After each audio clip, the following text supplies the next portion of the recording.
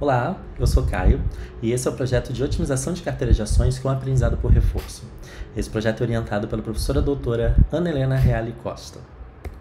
Bom, esse projeto explora o problema da otimização de carteiras, em que a gente tem um agente que olha informações do mercado, como o preço das ações ou notícias, e a cada instante de tempo define o que a gente chama de vetor portfólio, que é um vetor que contém né, a porcentagem de dinheiro que será investido em cada ação do portfólio.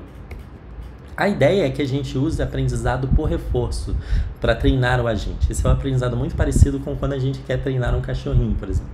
Nesse aprendizado, a gente tem um agente que faz uma ação em um ambiente e esse ambiente retorna ao agente uma recompensa.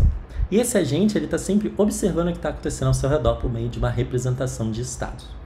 A representação de estados que a gente utiliza nesse projeto é essa representação aí, em que a gente tem um aglomerado de diversas séries temporais de features diferentes das várias ações do nosso portfólio. Essa representação lembra muito a representação de uma imagem. Isso é interessante porque a gente pode usar soluções convolucionais no nosso projeto. Como ação, a gente utiliza o vetor portfólio e como recompensa para o nosso problema, a gente utiliza a taxa de retorno, que calcula ali mais ou menos o lucro do agente em um período do tempo. Quando a gente vê as tendências do, da pesquisa, a gente vê que essa formulação foi introduzida por Jiang em 2017, que introduziu também uma arquitetura para resolver esse problema, que é a EIE, que usa convoluções para juntar todas as séries temporais em um único aprendizado.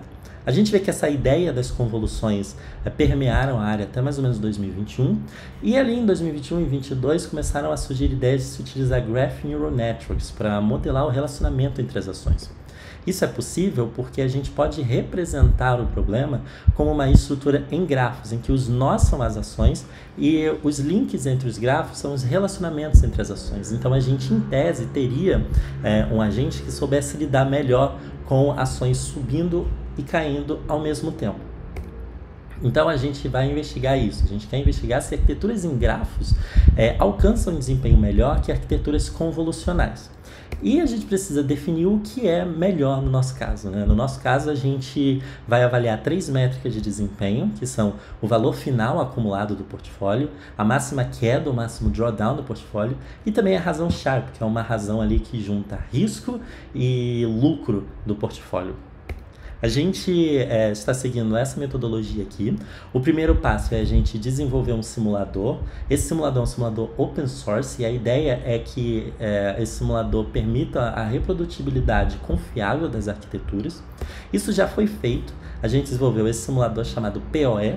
É, esse simulador ele simula a passagem de tempo do mercado e o efeito das ações ali de rebalanceamento de carteira do, do agente. E uh, esse trabalho ele rendeu um artigo para nós e ele foi apresentado né, no workshop brasileiro de IA em finanças ainda esse ano. É, tendo esse simulador em mãos, a gente pode seguir ali para reprodução de baselines. Nós escolhemos três arquiteturas baselines: a arquitetura EIE e a arquitetura EI3, que são arquiteturas convolucionais, e também uma arquitetura em grafos estado da arte, que é a arquitetura GPM. Aqui a gente tem é, um resultado para mostrar, que é basicamente o resultado da EIE, a arquitetura mais simples, em comparação com uma estratégia clássica de comprar ações e segurá-las, que é o chamado buy and hold. Nós escolhemos 10 10 ações de alto volume na Ibovespa e o treinamento é feito para maximizar o lucro, ignorando qualquer métrica de risco. A gente vê que a arquitetura EIE consegue um desempenho melhor do que a arquitetura Buy and Hold uh, em alguns períodos, principalmente em alta de mercado. Só que nós vemos que quando o mercado possui certa volatilidade, como a arquitetura não foi treinada para lidar com o risco, ela oscila bastante e acaba perdendo um pouco de dinheiro. E por fim, o último, o último passo da nossa metodologia é de fato desenvolver a arquitetura em grafos que nós estamos uh, criando aqui e fazer alguns testes comparativos dessa arquitetura com as três baselines que nós escolhemos. E basicamente esse é o projeto de sistema de otimização de carteiras. Né? Ah, gostaria de agradecer à professora doutora Ana Helena Reale Costa e também ao programa de bolsas do Itaú do C2D e ao Conselho Nacional de Desenvolvimento Científico e Tecnológico, que são os maiores patrocinadores desse, dessa pesquisa.